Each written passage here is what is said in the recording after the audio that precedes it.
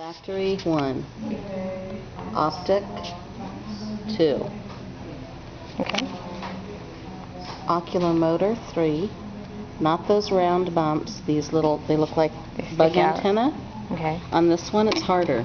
Uh, This is oculomotor, three. Oh. That's good. Okay? Let's do this one, trochlear, four.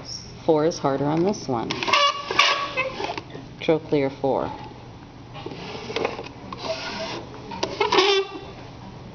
Trigeminal, five. Abducens, six. Facial, seven. Auditory, eight. There are two next to each other here.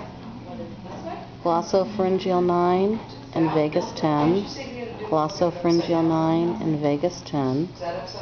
Spinal accessory 11 uh, and hypoglossal 12. For 6 through 12, you start in the middle, you wrap around, you come back to middle. 6, 7, 8, 9, 10, 11, 12. Oh, circles. Yep. All right. Now the vagus, does that run all the way down? That's what caused my little heart thing sometimes. Right. It innervates the heart. Okay. Yep. And gastrointestinal.